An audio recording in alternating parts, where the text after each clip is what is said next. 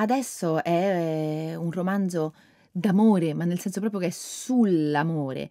Io ho provato a mettere questi due protagonisti, Lidia e Pietro, come in un laboratorio, come due tepo- topolini, a tentare di capire che cosa succede, che cosa ci succede quando ci innamoriamo, ma soprattutto quando eh, ci innamoriamo e non è la prima volta, siamo già stati feriti dalla vita, siamo stati già traditi dal, dall'amore. Abbiamo scoperto che fra le sue infinite caratteristiche ne ha una, l'abbiamo provato sulla nostra pelle, che è, è quella tremenda del fatto che può finire. È abbastanza evidente come quando si incontrano due persone, non si incontrano mai solo due persone, quando si innamorano due persone, siamo un esercito perché ci sono i genitori, i nonni, le persone che abbiamo amato, quelle che ci hanno rifiutato, quelle che ci hanno fatto soffrire, eh, i fantasmi e quindi sembra un incontro a due e invece è una specie di rave, ecco.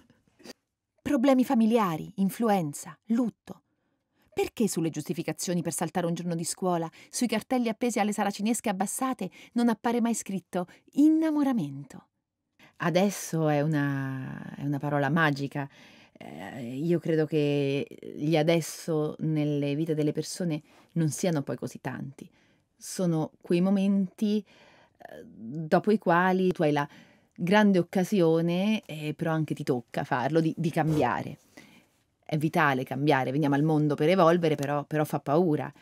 Credo che sia adesso fondamentalmente in tre casi quando qualcuno che amiamo muore, quando qualcuno nasce e io credo che anche quando ci innamoriamo. Questo racconta il libro, diciamo, racconta adesso nel libro sta a rappresentare un, un innamoramento e a me, devo dire, sono successe tutte e tre le cose. Quando ho scritto il libro non sapevo che cosa significasse adesso perché eh, eh, nasce un figlio, invece adesso so so anche questo. Leggere ad alta voce, soprattutto alcune pagine di questo libro, che è un libro poi su, sul coraggio e l'incoscienza che ci vuole per accettare le proposte che ci fa la vita, beh, insomma, leggerlo ad alta voce mi ha toccata, toccata molto. E, e credo, spero che possa essere eh, interessante anche, anche ascoltarlo. Interessante una parola fredda, spero che possa